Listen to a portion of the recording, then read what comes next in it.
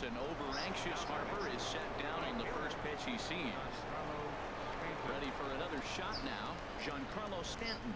He's hitless in three at-bats to this point. Oh, Bye bye. Oh, oh, that's a freaking, that's a bomb. Oh, my god, how far was that? trying to pick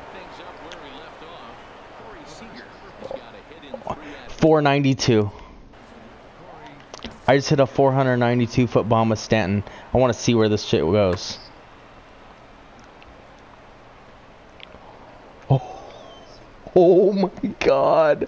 I hit the longest home run ever.